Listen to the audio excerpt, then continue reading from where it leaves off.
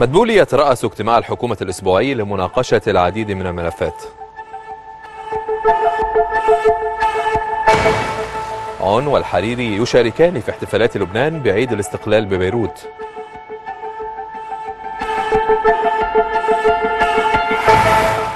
وولي عهد أبو ظبي يزور فرنسا تلبية لدعوة الرئيس ماكرون.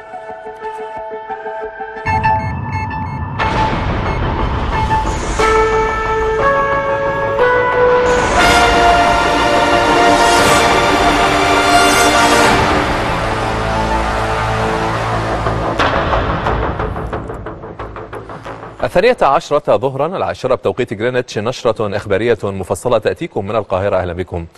ترأس الدكتور مصطفى مدبولي رئيس مجلس الوزراء اجتماع الحكومة الأسبوعي لمناقشة عدد من الملفات المتعلقة بالخدمات المختلفة والمشروعات الجاري تنفيذها حاليا. كما تناول الاجتماع الخطط الاستثمارية بالمحافظات. وعلى صعيد متصل تطرق الاجتماع لعدد من الملفات والتقارير من مختلف الوزارات خاصة الوزارات الخدمية.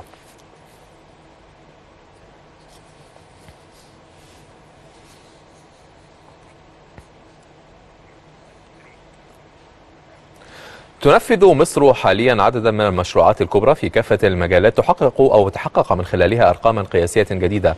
المزيد في سياق العرض التالي.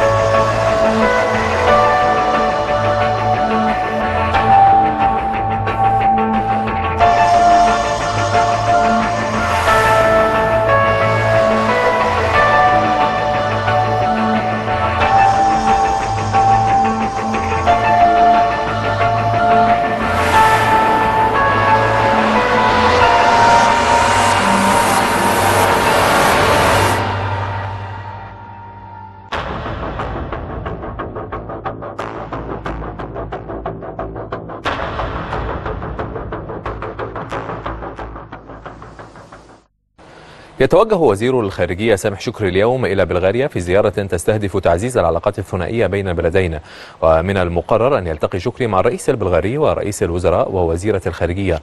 وقال المتحدث باسم الخارجية المستشار أحمد حافظ أن زيارة شكري تأتي لاستثمار الزخم في أعقاب الزيارة الناجحة التي قام بها رئيس الوزراء البلغاري إلى مصر الشهر الماضي والتي شهدت الاتفاق على تشكيل لجنة مشتركة برئاسة وزيري خارجية البلدين.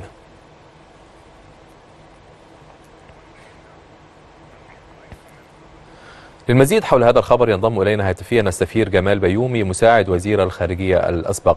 سعادة السفير بنرحب بحضرتك على اكسترا نيوز ودعني أسأل حضرتك في البداية عن هذا الاهتمام المصري بدول شرق أوروبا، ما الذي يمكن لمصر أن تتحصل عليه من هذه الزيارات وهذه العلاقات مع شرق أوروبا؟ هي استعادة لملفات مهمة في العلاقات المصرية الخارجية كانت قد أهملت لفترة ما وتعود هذه العلاقات مرة أخرى مع الانفتاح الذي يقوده الرئيس عبد الفتاح السيسي لمختلف الجهات. ألاحظ أو أود أن أنبه أن الاتحاد السوفيتي القديم ودول شرق أوروبا الدائرة في فلكه كانت تحتل 68% من تجارة مصر الخارجية وتراجع هذا كثيرا. لماذا لا نستعيد هذه الأسواق خصوصا وأن بلغاريا متقدمة في كثير من الصناعات بالذات في الصناعات الغذائية لأنها دولة زراعية تصنع السلع الزراعية. واستعادة هذه الأسواق هو مزيد من الصادرات المصرية ومعنى هذا زيادة في الاستثمارات وفرص التوظف لأبنائنا من المصريين. جانب آخر وهو الجانب السياسي وقطعا سيكون محل اهتمام وزير الخارجية وهو القضايا المشتركة قضية مكافحة الجريمة المنظمة التي يتصدرها الإرهاب وغسيل الأموال وتهريب المخدرات وهذه الجرائم نحاربها سويا.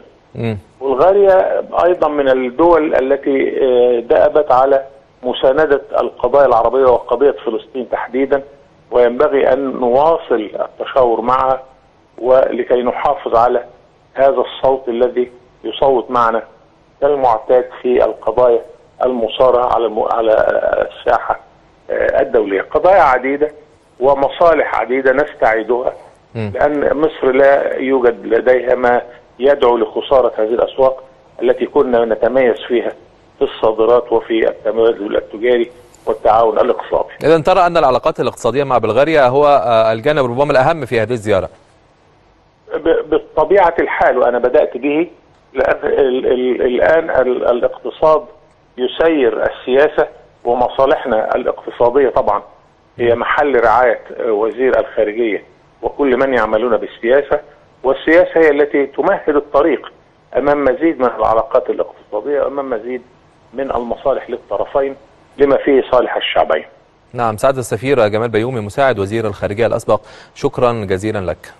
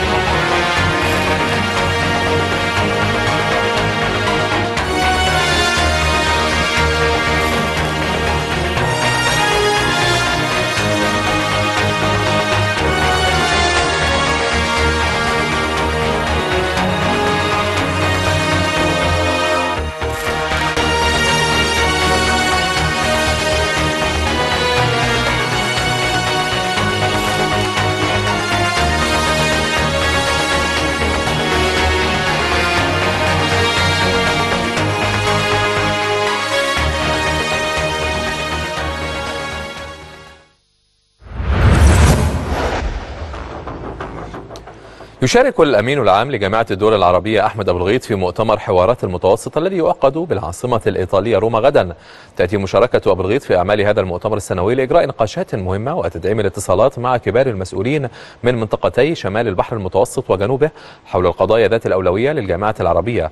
ومن المنتظر أن يستعرض الأمين العام خلال الجلسة الأولى للمؤتمر رؤية الجامعة تجاه الوضع الإقليمي وسبل استعادة الاستقرار في المنطقة العربية والشرق الأوسط.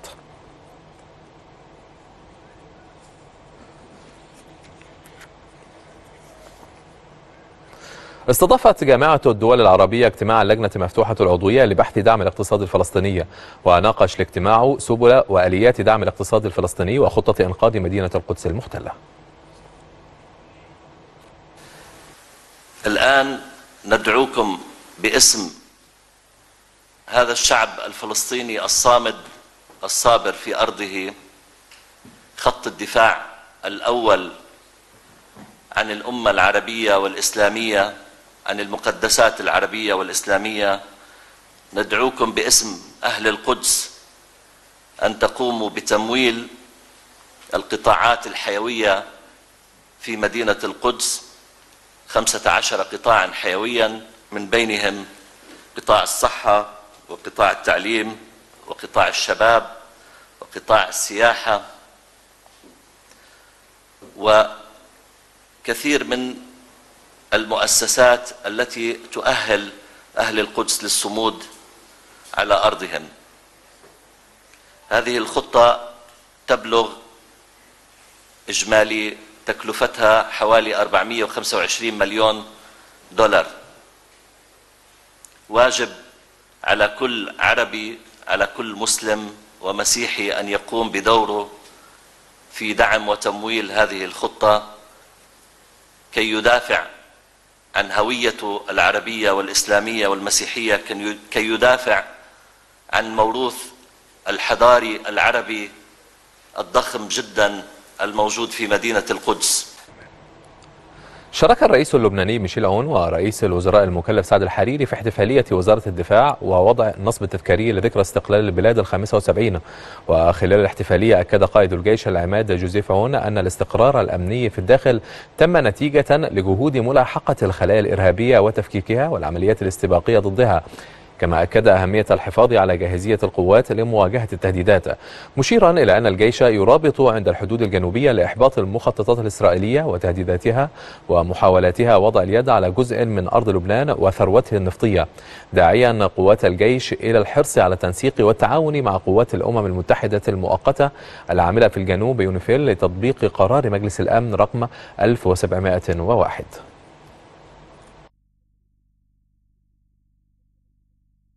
باسمكم جميعا. اسمحوا لي أن أعبر عن امتناننا وشكرنا للذين دافعوا وناضلوا من أجل تحررنا من كل معتد على حقوقنا. باسمكم جميعا.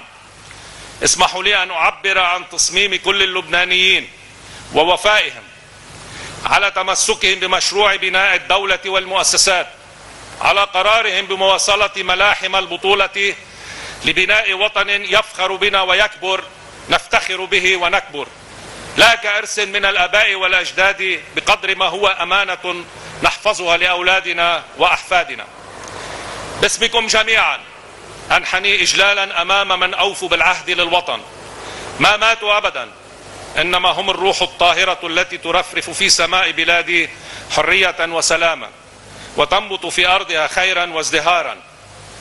اليوم في 2018 يهب الشعب ذاته سائرا مؤكدا عزمه على العيش حياة لائقة مناضلا في سبيل ذلك وسيكون له ما يريد.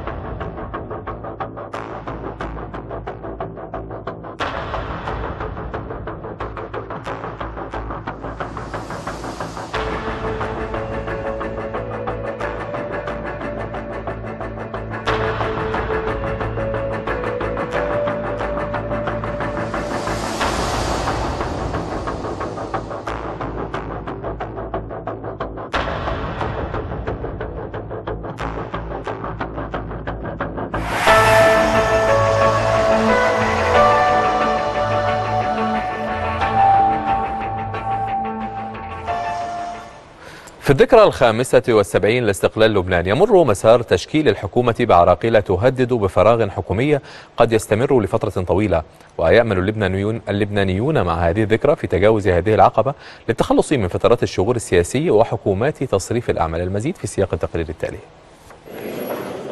أزمة تراوح مكانها وأفاق الحل ما زالت مسدودة. مخاض صعب لم تتخلص منه حتى الآن مساعي تشكيل الحكومة اللبنانية. ولو أن الأمل ما زال موجودا بحسب تصريحات رئيس مجلس النواب اللبناني نبيه بري. أكثر من خمسة أشهر مرت على إعلان نتائج الانتخابات ورغم ذلك يؤكد نبيه بري أن الحلول ليست مفقودة وأنه في الإمكان الوصول إلى حل في القريب العاجل للأزمة الراهنة شريطة النوايا الصادقة لحل عقدة تمثيل النواب السنة التابعين لتيار الثامن من آذار. ولم يستطع الفرقاء اللبنانيون استغلال النقطة المضيئة بعد التصالح الذي تم بين تياري القوات اللبنانية والمردة أوائل الشهر الجاري. وتصاعدت لهجة التحدي خاصة من حزب الله وأمينه حسن نصر الله الذي قال إن الحزب لن يسمح بتشكيل الحكومة إلا بعد منح الموالين له من النواب السنة حقيبة وزارية خصما من الحصة الوزارية لتيار المستقبل الذي يتزعمه سعد الحريري وهو الأمر الذي اعتبره عدد كبير من القوى السياسية بمثابة استقواء بقوة السلاح من جانب الحزب على الدستور ومقدرات الدولة اللبنانية. وفي المقابل أعلن الحريري رفضه المطلق لشروط حزب الله وإن تطلب الأمر الاعتذار عن تشكيل الحكومة وأكد أنه لا يريد ما وصفه بحصان طرواده في إشارة إلى حشد النواب السنة بإعاز من حزب الله بقصد عرقلة تشكيل الحكومة. وفي ظل التجاذب السياسي بين الفرقاء يخشى الشارع اللبناني من فترة فراغ حكومي على غرار الفراغ الرئاسي الذي استمر قرابة عامين في وقت يعاني لبنان من أوضاع اقتصادية صعبة تتطلب إنجاز تشكيل الحكومة للانطلاق نحو برامج الإصلاح الاقتصادي والحد من ارتفاع الدين المحلي ونقص الاستثمارات الأجنبية. وفي ذكرى الاستقلال يأمل اللبنانيون في التخلص من التيارات التي تدين بولاءات خارجية وتضع العراقيل أمام مسيرة البلاد نحو الحصول على استقلالية قراراتها بعيدا عن سياسة المحاور. يبدأ ولي عهد أبو ظبي الشيخ محمد بن زايد النهيان اليوم زيارته الرسمية إلى فرنسا تلبية لدعوة الرئيس إيمانويل ماكرون ويبحث بن زايد العلاقات التاريخية والاستراتيجية بين الإمارات وفرنسا ومستجدات خارطة الطريق الثنائية التي تم الاتفاق عليها خلال زيارة ماكرون إلى أبو ظبي في نوفمبر العام الماضي والتي تشمل تعزيز التعاون الأمني والعسكري ومحاربة الإرهاب. كما سيناقش أو يناقش الجانبان خلال الاجتماع آخر مستجدات في منطقة الشرق الأوسط وأوروبا.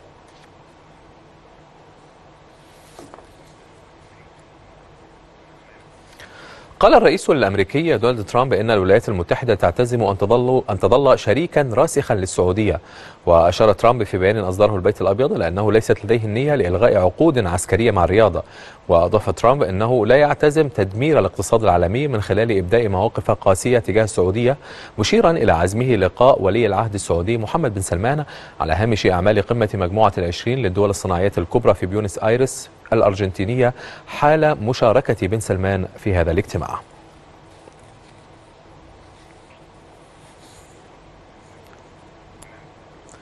أكد وزير الخارجية الأمريكي مايك بومبيو سعي الولايات المتحدة للحفاظ على شراكتها الحيوية مع السعودية. وقال بومبيو في مؤتمر صحفي أن الإدارة الأمريكية عليها اتباع سياسات بما في ذلك تجاه السعودية تسهم في ضمان الأمن القومي للولايات المتحدة. وأشار بومبيو إلى أن الرئيس الأمريكي دونالد ترامب متشبث بالعلاقات مع السعودية مشددا على أن هناك شراكة استراتيجية بين البلدين.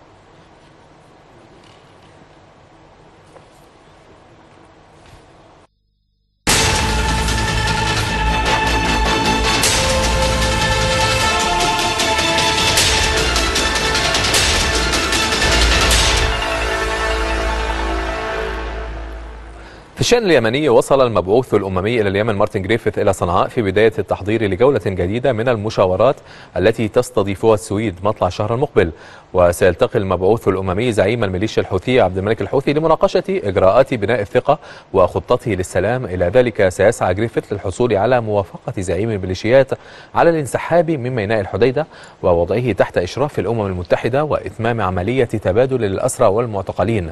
إلى جانب توحيد البنك المركزي.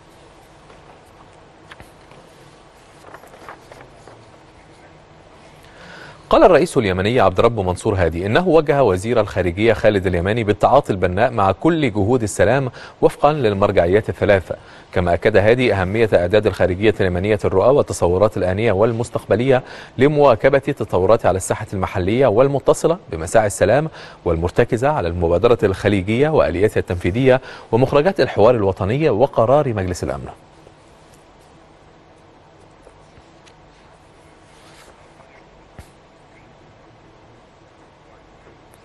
للمزيد ينضم إلينا هاتفيا السيد جمال بن راسم رئيس تحرير موقع اليمن العربي سيد جمال نرحب بحضرتك على اكسترا نيوز ويعني أطرح عليك هذا السؤال في الخبر الذي كنت أقرأه منذ قليل على أن الرئيس اليمني عبد رب منصور هادي وجه وزير الخارجية بالتعاطي البناء مع كل جهود السلام وفقا للمرجعيات الثلاث. ماذا يعني ذلك؟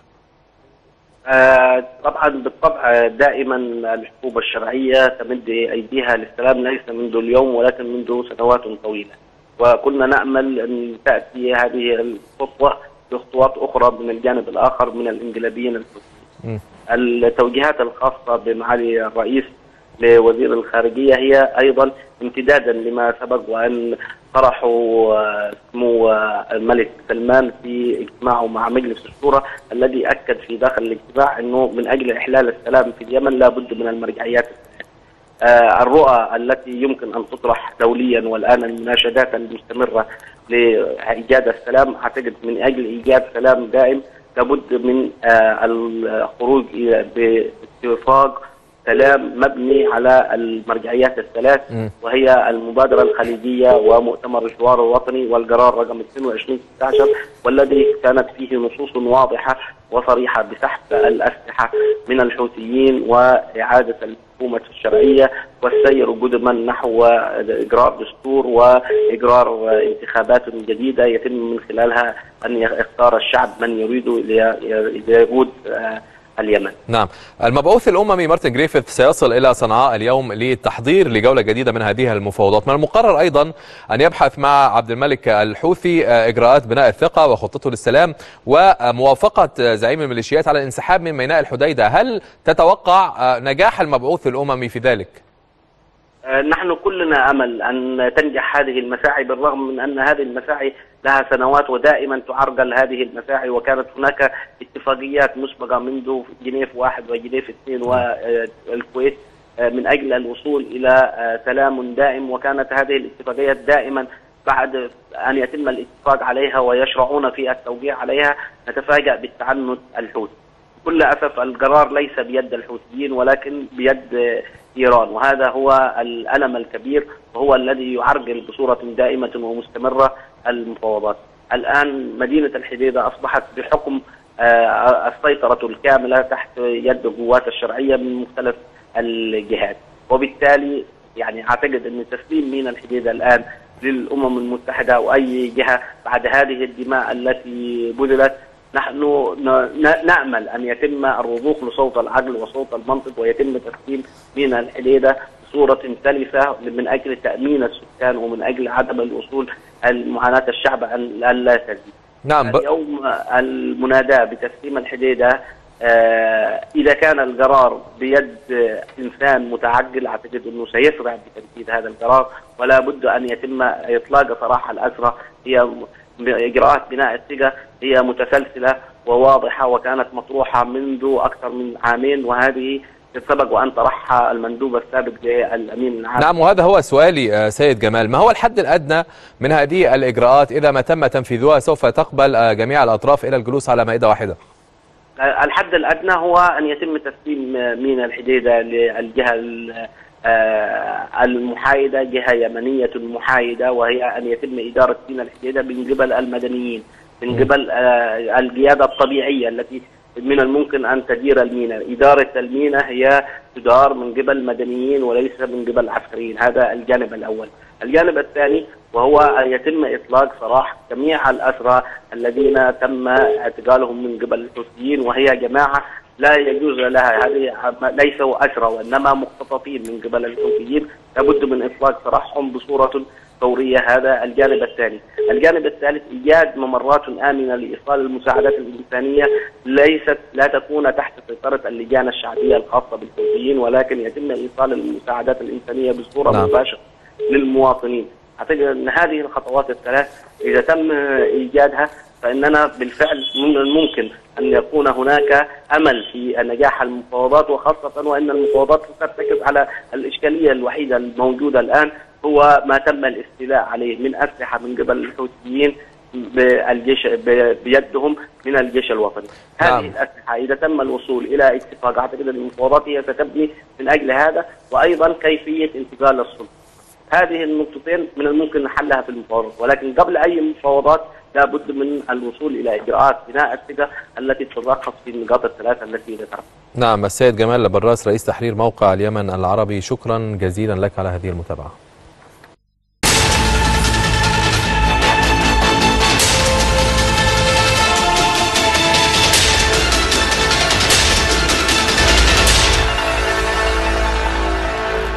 الشأن السوري أعلنت وزارة الدفاع الروسية أن الإرهابيين المتمركزين في إدلب قصفوا على مدار الساعات الأربع والعشرين الأخيرة قصفوا قرى وبلدات في محافظات اللاذقية وحلب وحماة.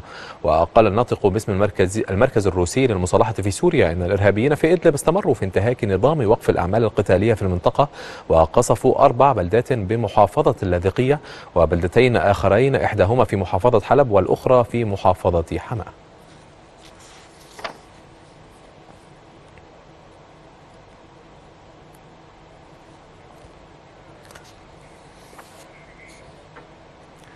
من جانبها نفت وزارة الخارجية الروسية ما تردد عن وجود اقتراح روسي لرفع العقوبات جزئيا عن طهران مقابل سحب القوات الإيرانية من سوريا. وقال نائب وزير الخارجية الروسي سيرجي ريابكوف أن موسكو لم تقترح على إسرائيل أو الولايات المتحدة رفع جزء من العقوبات المفروضة على طهران مقابل سحب الأخيرة قواتها من الأراضي السورية.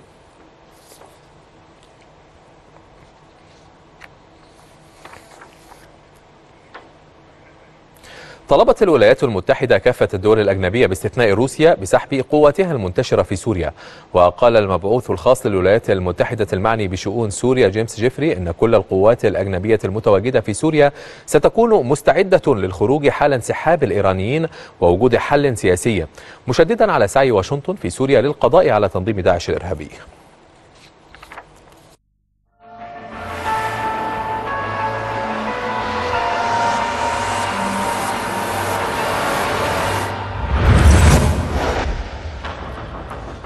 انتخبت منظمة الشرطة الدولية الإنتربول المرشح الكوري الجنوبي كيم جونج يانج المدعوم من واشنطن رئيسا لها لمدة عامين. ويأتي انتخاب كيم خلفا للصيني مينغ هونغ وي الذي استقال الشهر الماضي إثر تحقيقات بكين معه في اتهامات بقضايا فساد.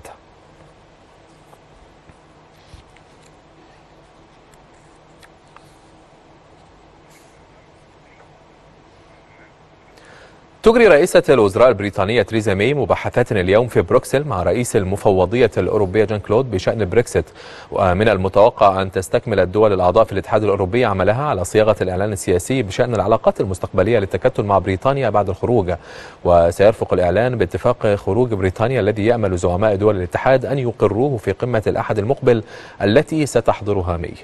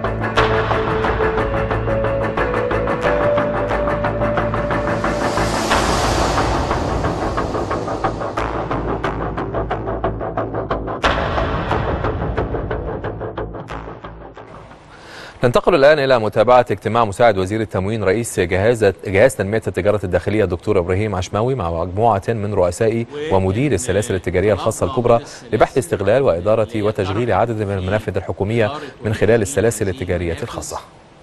ال projections أو توقعاتها المالية خلال فترة التعاقد.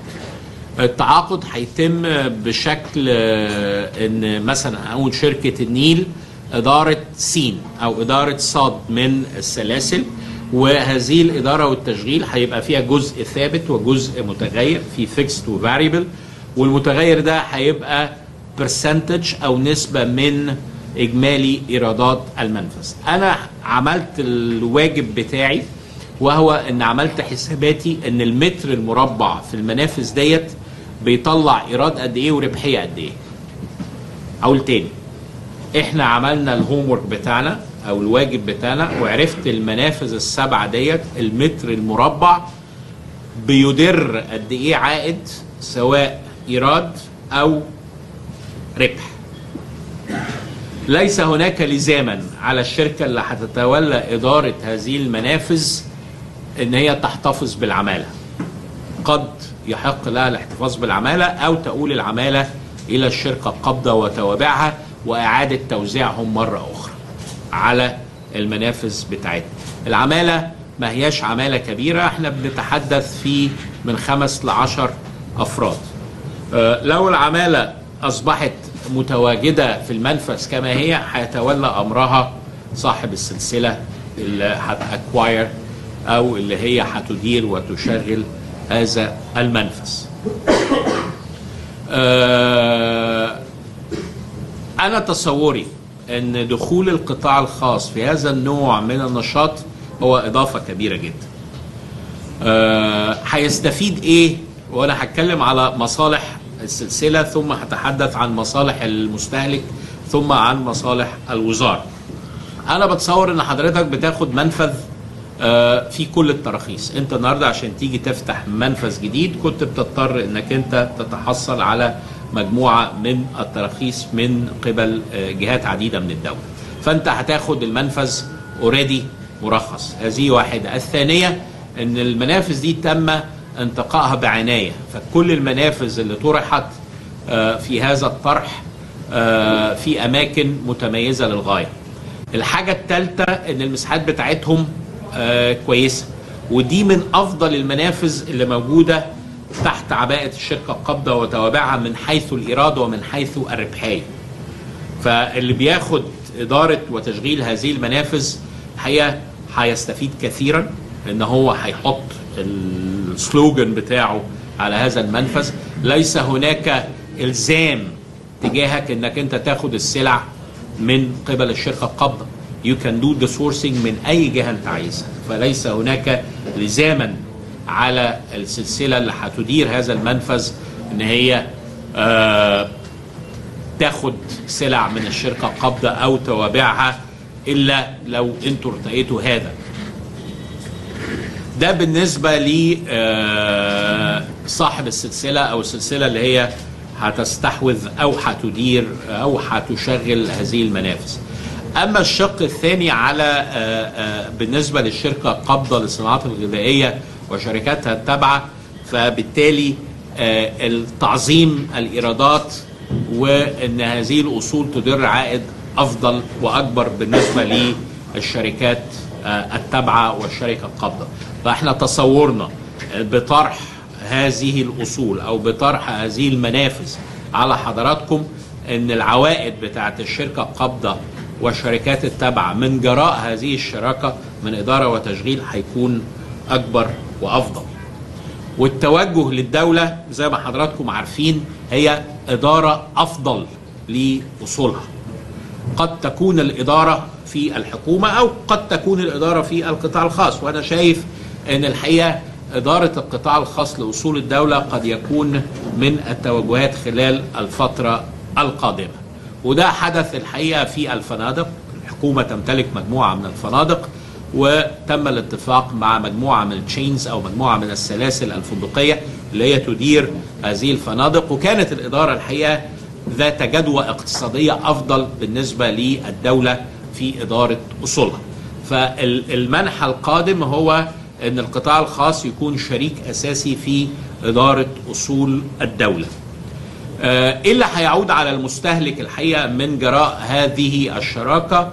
اللي هيعود على المستهلك إن هو هيتحصل على جودة أفضل.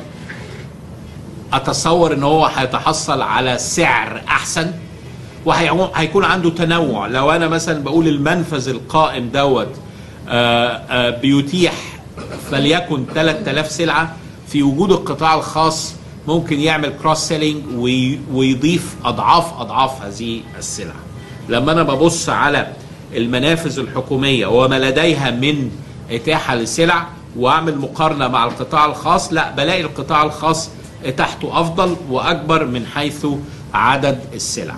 فضلا عن هذا إن هو ممكن يعمل mixed use commercial activities ويضيف كمان سلع أخرى ويتحول المنفذ إلى department store يعني ممكن تبيع أكثر من الأصناف اللي حضرتك بتبيعها ممكن تبيع برودكتس أخرى أو منتجات أخرى. آه، أو ممكن تبيع هذه السلع وبدائلها. فالحقيقة التصور بتاعي إن ليس هناك خاسر بالمرة في هذه الشراكة بل المكاسب هتكون عظمى سواء واللي بيهمني المستهلك. المستهلك هيستفاد جدا من جراء هذه الشراكة. فضلا عن هذا إن السلاسل اللي هتتقدم على هذه المنافذ هيكون عندها آه، مكان مميز للغاية آه، عندها clientele base أو قاعدة عملاء already قائمة آه، إن المنفذ ده already كان شغال. ما أنتش بت start from scratch أو بتاخد منفذ ما هواش ذو جدوى اقتصادية. وأنا عايز أقول لحضراتكم إن المنافذ اللي طرحت على حضراتكم ديت كلها منافذ ذو جدوى اقتصادية. يعني تم قياس جدواها الاقتصادية تماما. وزي ما قلت إن هذه هي البداية. هيعقب هذه البداية طرح آه، مجموعة من المنافذ الأخرى. فأنا حبيت بس إن أنا آه، أتواجد مع حضراتكم وأبلغ حضراتكم رسالة وتم الطرح خلال الجمعة والسبت الماضيين وأعلنا عن آه، هذه المنافذ السبعة ومواقعها ومساحتها وإيه الدوكيومنتس أو إيه هي آه، آه، المطلوب آه، يكون حضراتكم تحضروه عشان تتقدموا لإدارة وتشغيل هذه المنافذ. آه، أعلم تماما إن حضراتكم لديكم نوايا طيبة ولكن النوايا ليست كافية أنا عايز أشوف النوايا ديت تترجم على الأرض إلى آه واقع وزي ما قلت إحنا لم نبدأ في الطرح إلا ما عرفنا حضراتكم عايزين إيه. وفين؟ وفي بعض السلاسل تقدمت إن هي تدير وتشغل أكثر من 200 منفذ. بس قلنا في المرحلة الأولى هنكتفي بالمنافذ المميزة ذات الأماكن المميزة وذات الجدوى الاقتصادية. فمن هنا جاء الطرح. وتمت دراسة هذا الطرح بعناية كبيرة جدا لأن لو نجح وإن شاء الله ينجح هذا المشروع هتتوالى آه، الأحداث في طرح مجموعة من المنافذ الأخرى. لو حضراتكم عايزين إن أنا أستعرض معاكم إيه هي السبع منافذ اللي تم طرحها فممكن اتوزعت خلاص؟ طيب خلاص. فطالما هي موجودة مع حضراتكم. نعم.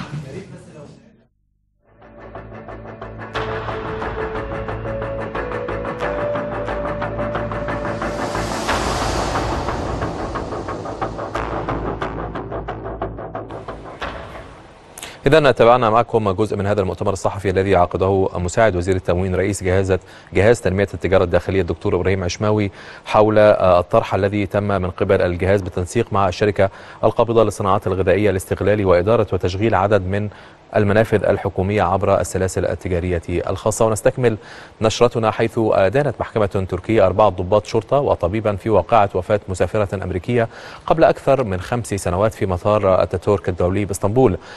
وقضت المحكمة بسجن الضباط سبع سنوات وأربعة أشهر كما أمرت بتغريم الطبيب 2250 دولار كما قضت ببراءة سبعة ضباط آخرين لعدم وجود أدلة ضدهم.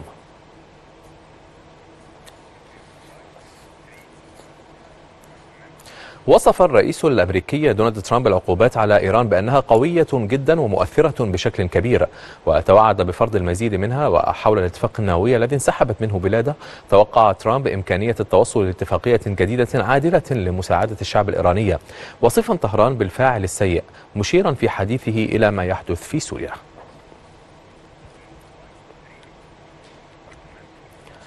قال رودي جولياني محامي الرئيس الأمريكي دونالد ترامب إن الأخير قدم إجابات مكتوبة على أسئلة من المحقق الخاص روبرت مولر في التحقيق الذي يجريه عن تدخل روسيا في انتخابات 2016 وقال جولياني في بيان إن معظم ما طرح من أسئلة أثار مشكلات دستورية خطيرة وتجاوز نطاق تحقيق يحظى بمشروعيه لكنه أضاف أن الرئيس قدم تعاونا غير مسبوق وأن الوقت حان لإنهاء هذا التحقيق.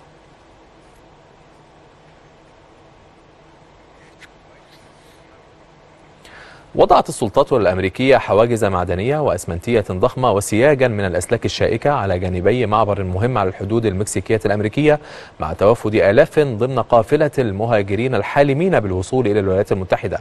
كما أغلقت السلطات مؤقتا معبر سان إسيديرو أحد أكثر المعابر البرية ازدحاما في العالم أثناء نصب الحواجز الجديدة ما شل حركة السير للعربات والمرة الراغبين في العبور بدورها. أعلنت هيئة الجمارك وحماية الحدود الأمريكية التابعة لوزارة الأمن الوطني في بيان أنها علقت العمليات لتضع بأمان معوقات عند مرفأ الدخول يمكنها أن تعرقل دخول مجموعات كبيرة.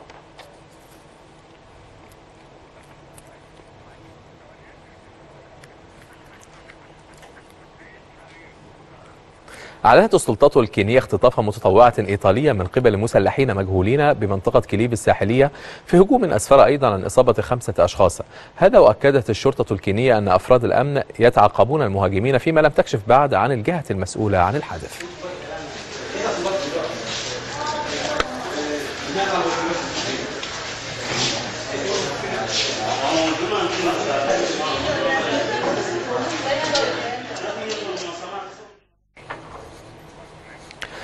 يحتفل العالم في الحادي والعشرين من نوفمبر من كل عام باليوم العالمي العالمي للتلفزيون والذي يوافق انعقاد أول منتدى للأمم المتحدة للتلفزيون عام 96 ويأتي الاحتفاء بالتلفزيون بوصفه رمزا للاتصالات والعولمة في العالم المعاصر واعترافا بدوره المتزايد مع بقية وسائل الإعلام في تشكيل الرأي العام والتأثير في عملية صناعة القرار على مستوى العالم.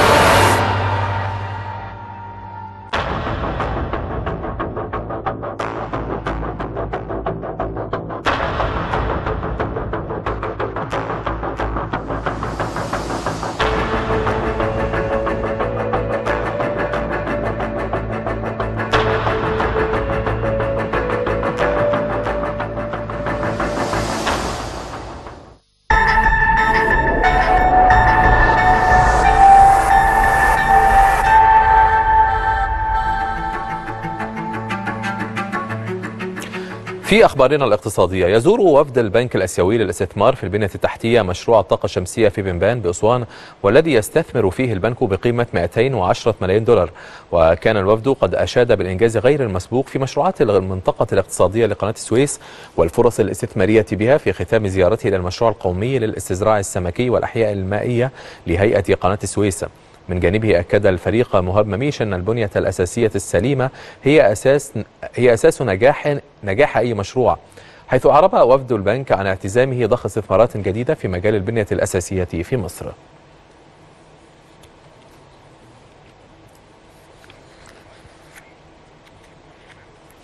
تعقد لجنة الإدارة المحلية بمجلس النواب برئاسة المهندس أحمد السجين اجتماعا بحضور الدكتورة سحر نصر وزيرة الاستثمار والتعاون الدولية وذلك بشأن الخريطة الاستثمارية للمحافظات. كما تحضر الاجتماع رئيس جهاز المشروعات المتوسطة والصغيرة ومتناهية الصغر وبحضور ممثلي وزارات التنمية المحلية والتضامن الاجتماعي والصناعة.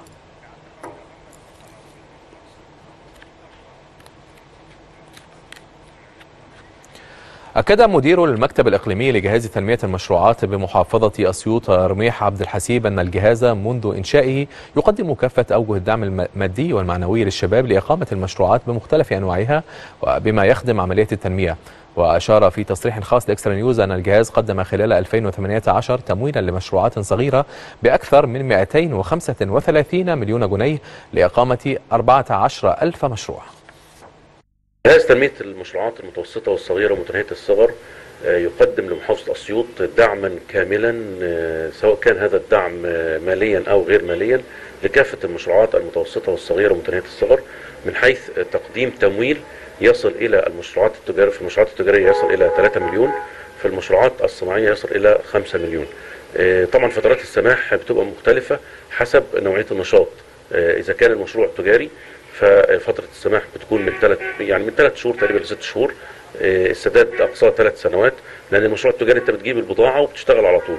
أما المشروع الصناعي تصل فترة السماح فيه إلى سنة. آه، خلال عام 2018 الحمد لله استطاع الجهاز إن هو يقدم تمويل يصل إلى 235 مليون تقريبا. حقق خلالها حوالي 14000 فرصة 14000 مشروع تقريبا عملت حوالي 20000 فرصة عمل في الفترة فترة 2018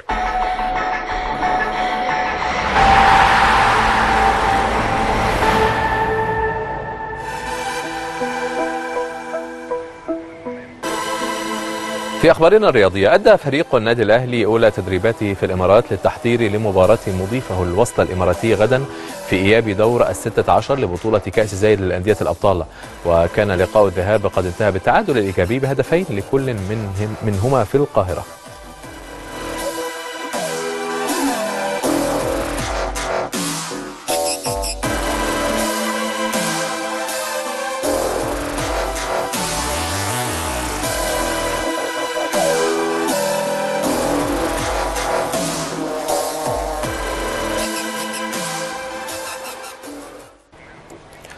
تستكمل اليوم منافسات الأسبوع الخامس عشر لبطولة الدوري بخمسة لقاءات حيث يلعب مصر المقاصة مع نجوم ويلتقي طلائع الجيش ضيفه بتروجيت ويواجه الإسماعيلي فريق الإنتاج الحربي بينما يستضيف حرس الحدود نظيره المصري البورسعيدي ويلتقي بيراميدز مع وادي دجلة.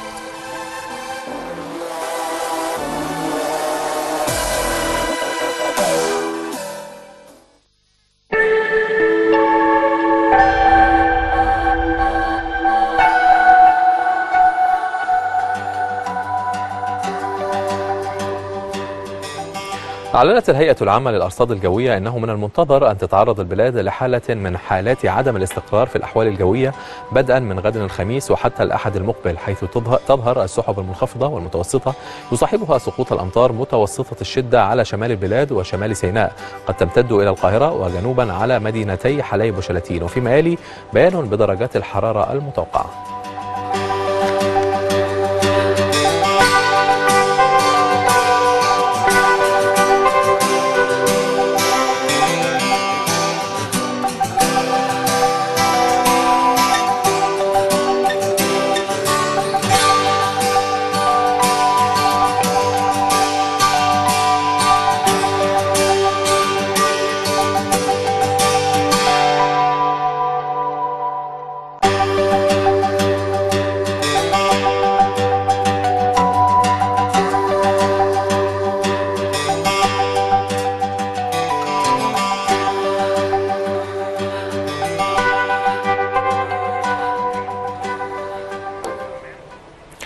نهاية نشرة الثانية عشرة وهذا تذكير لأهم ما جاء فيها من أنباء. مدبول يترأس اجتماع الحكومة الأسبوعي لمناقشة العديد من الملفات.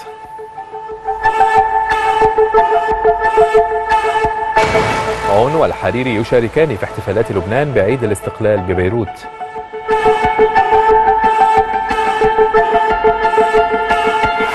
وولي عهد أبو ظبي يزور فرنسا تلبية لدعوة الرئيس ماكرون. لمزيد من الأخبار تابعوا موقعنا الإخباري إكسترا نيوز دوت تي في شكرا لكم على طيب المتابعة ودمتم في أمان الله.